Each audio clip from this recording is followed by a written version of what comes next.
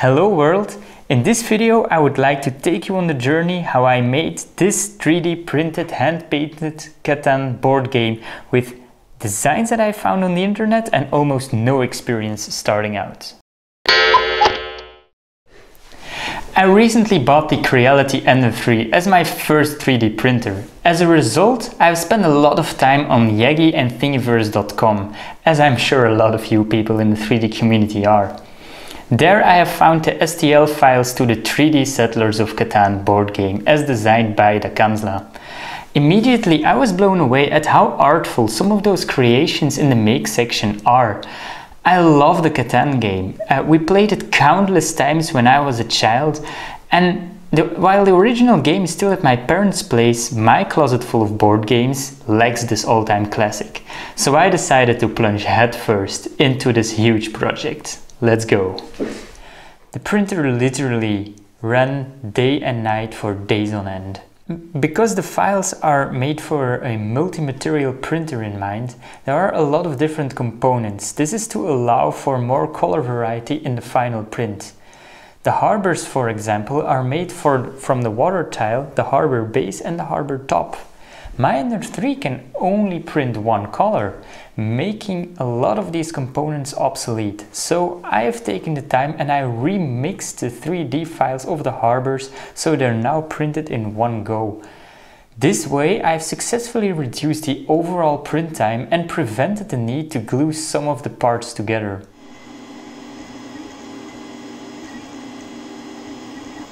I now have a whole lot of these 3D printed Catan tiles, but they're all black, so they all need to be cleaned up a little and painted now.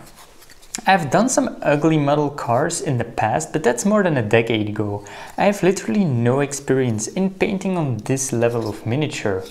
So I had to do some research, aka watch some tutorial videos on YouTube. I felt confident enough that I could start my miniature painting adventure. I went online and ordered a small variety of miniature paints. I have all primary colors, red, yellow, blue, white and black. I also have brown, green and a black wash to finish everything off. But that's it. I didn't want to spend too much money on way too much fancy paints that I wouldn't use anymore after this project. Confident enough that I will be able to mix these colors to achieve a colorful end result. Aside from the paint, I ordered a spray-on primer, a value pack of three very fine brushes, and a dull coating to finish everything off once the tiles are painted. So, in short, I now have all the basic supplies to start my miniature painting adventure. To test and hone my painting skills and try out some of the tips given in the video tutorials, I used a previously printed tile from an older design version of the 3D Catan game that had some printing errors in my case. I must admit that I was surprised at how easy it was to achieve a subjectively good result, while spending less than one hour painting the entire tile.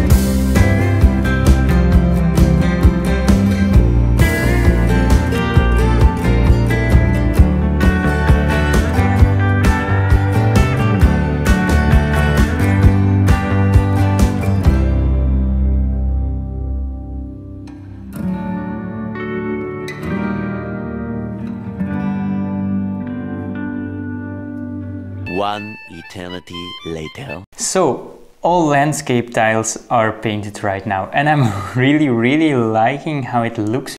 The tiles on average took one hour each to print and that time really depends on how much features there are on the tiles. For example, the desert tile took under an hour but each and every one of the wood tiles took a lot longer because every single tree needs to be painted.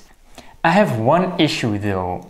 The black wash seemed very promising in the tutorials that I watched, but I think I experimented too much with it on the grain tiles because they really look very dirty and smudged and the grain fields are lined with black lines and I'm not digging that look, especially not compared to the other tiles where there is little to no black wash used.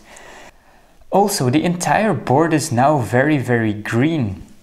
The sheep and the wood tiles are already green and I tried to make the grain tiles a more yellowish green but it came out more like a lime color because the green paint just overpowered. So that together with my issue with the wash finish I actually decided to repaint the grain tiles to make their base color yellow and cover up the ugly finish that I did with the black wash.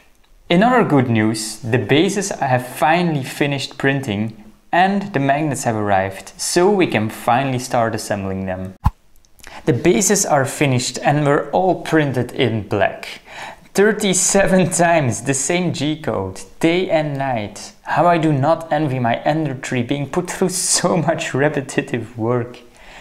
By the way, I have also slightly tweaked the design of the bases. I have some cheap felt lying around and I want to glue that to the underside of the finished tiles. The original base design however only has these 6 walls but no underside.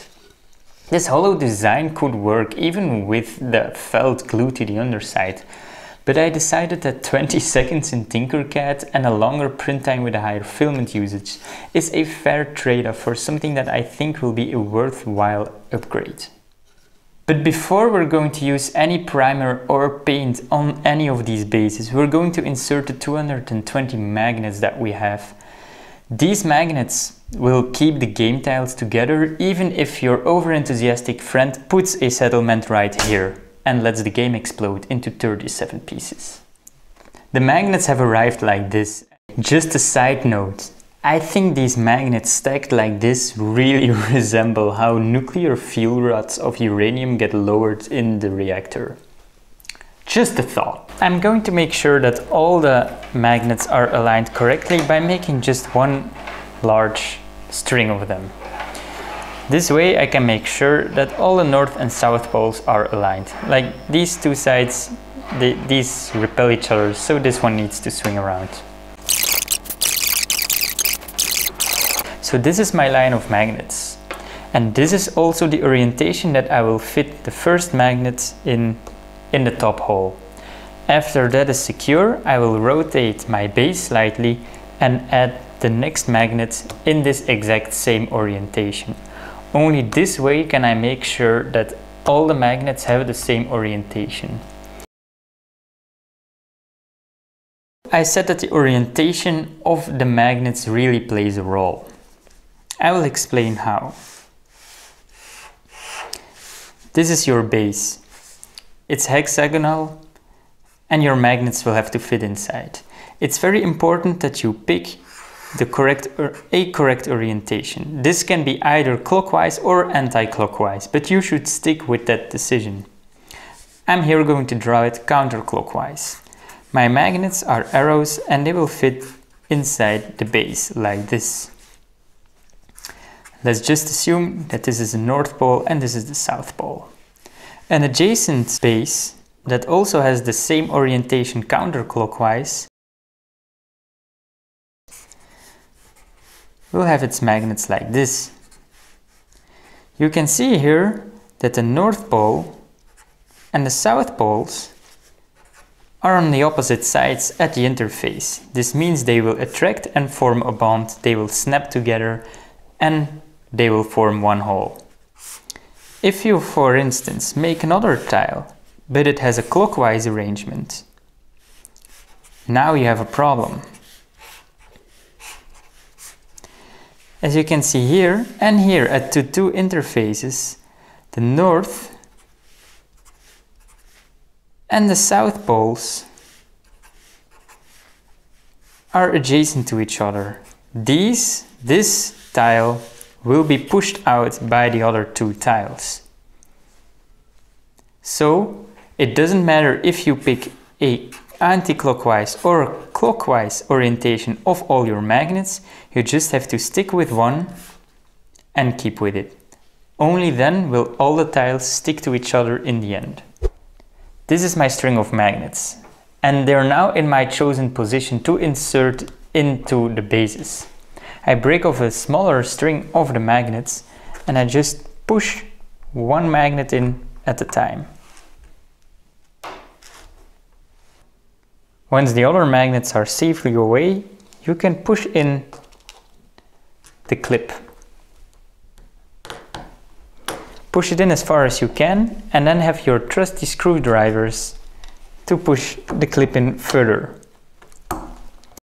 If you have one base finished and you check the orientation on each every side that they're all aligned correctly, you can use this one as a scaffold to build the other ones.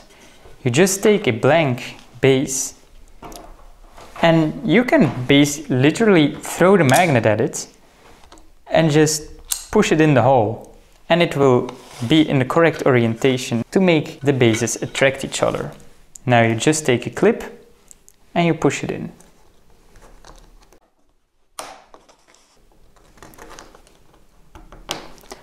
This way you can make sure that it is always the correct orientation.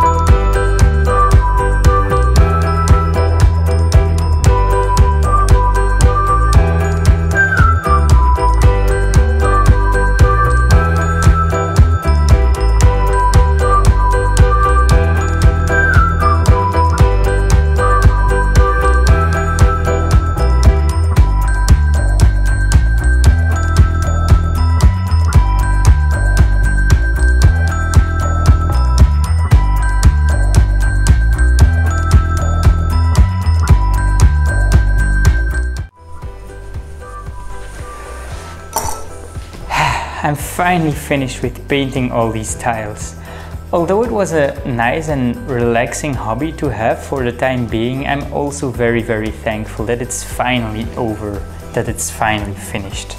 But it's not over yet. It's time to join the two. I will do this with a little bit of glue. These tiles fit in perfectly. It will seal off the interior of the bases, but it will give the final tile a very very very nice look.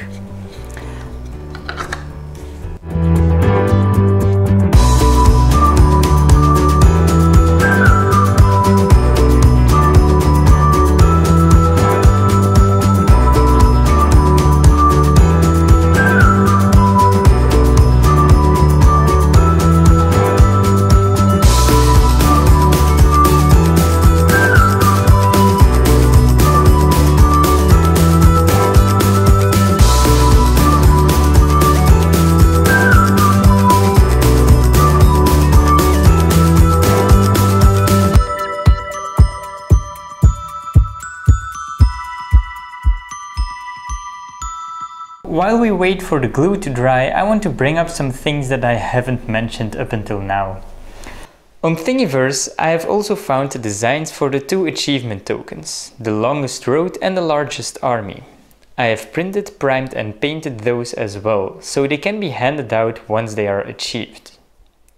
The player pieces are, you guessed it, also 3D printed in green, yellow, blue and red. In the original game the robber is just a boring black pawn. On Thingiverse I have found a robber that holds a lot of sheep and I thought it was very clever and very funny. But well, Catan is more than only sheep. So I redesigned that robber to hold one of every resource available, being ore, brick, wood, grain and a sheep on top. The number tokens are also invaluable for the gameplay. They will indicate at what dice rolls which resources are generated. The tokens can be found as a 3D printable design. I decided that this was a good opportunity for trying to print in two colors. I've also added a few tokens, but I'll explain the function of those in another video. This is how it will look. These are the player pieces and everything. But I have promised to put felt on the underside. And so that's what I will do now. To be fair and honest, it's not really felt. It's a synthetic felt-like material with a smooth underside, making it very glueable to other plastics. Um, and it was just lying around in the closet and I was actually thinking of throwing it away until I got the idea of integrating it in my Catan board game. Let's put aside all the nice things and get to work. So the basic idea is this. I have my hexagonal tiles and I will cut an hexagonal piece of this felt material. This will then be glued together. There are several ways to do it, but I figured that the easiest and most practical way to achieve this is to make a sort of template. As template material, I'm going to use a plastic sheet. This is a cover of a notebook that was completely full and we threw it out, but we took the plastic cover off. And as you can see, there are already some cutouts that have been used as templates before. So I'm going to trace one hexagon on this plastic sheet, going to cut this out and then this will be the template to trace other hexagons on the felt material itself. You can just use any old ballpoint for this actually.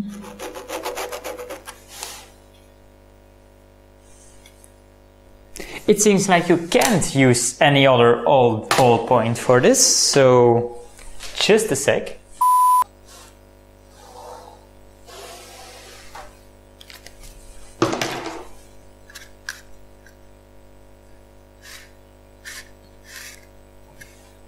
And I didn't even write on the tile.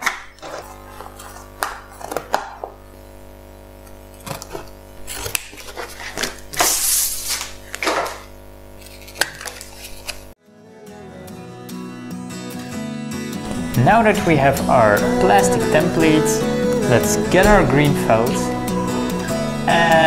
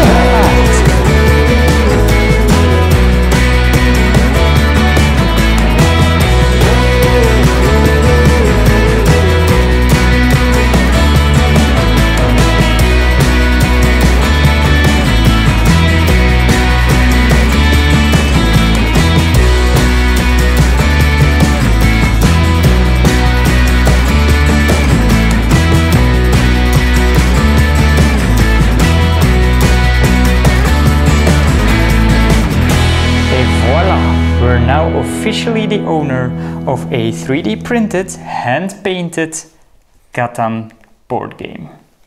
It took a lot of time in printing, priming, painting, assembling, spraying, everything. But looking at the finished product, it's really, really, really worthwhile. And it really goes to show that with some inspiration, creativity, and persistence, no project is really too daunting to be able to be completed. Now I actually only need friends to play with. But how to make friends is probably a topic for another video. Thank you for watching. I hope you enjoyed my very very first YouTube video.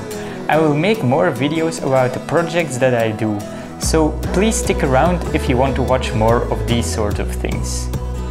Please don't hesitate if you have a great idea for a project for me. Also, tell me in the comments if you like this 3D Catan set as much as I do, and especially comment if you think I could have done something different or better. And please let this video be an encouragement for you to start your own daunting projects. I know the most difficult thing is to just get started, but just do it. Stay creative, stay curious, and most of all, stay tuned for the next episode of Jakwiebus Projects.